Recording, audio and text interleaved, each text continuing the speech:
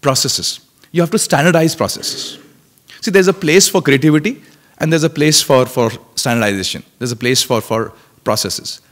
For example since we are talking about construction industry बहुत से लोग कंस्ट्रक्शन इंडस्ट्री से हैं जो एक आपका राज मजदूर है जो मेसन है he has to put a brick on top of a brick no matter how creative he is, he cannot change that. He has to put a brick on top of a brick. There's a process. It's standardization. And when you have standardization, then multiplication is possible.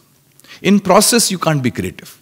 In process, you have to bring in some standardizations. So can you standardize your process? Can it happen the way it's supposed to happen. When you have a process, you build stamina for the future to last for a long duration. Oxygen, we need to have solid cash flows. We need to understand the balance sheets. A lot of us, we, we, we, we, we are, uh, we are scared of balance sheets. We don't love to go through the financial statements. हमें पढ़नी नहीं आती balance sheets. I'm not saying you got to be an accounts person, but you need to be a finance guy. Learn how to read a balance sheet. Understand the asset side. Understand the DPL side. Understand what is happening on that front तो जितना इससे दूर भागोगे उतना ही ये बड़ा होते जाएगा and आपको तंग करेगा so understand that your oxygen your cash flow and majority of the challenges which business is face it's because of the cash flow challenges oxygen ही खत्म हो जाता है सम with the planning has not been great financially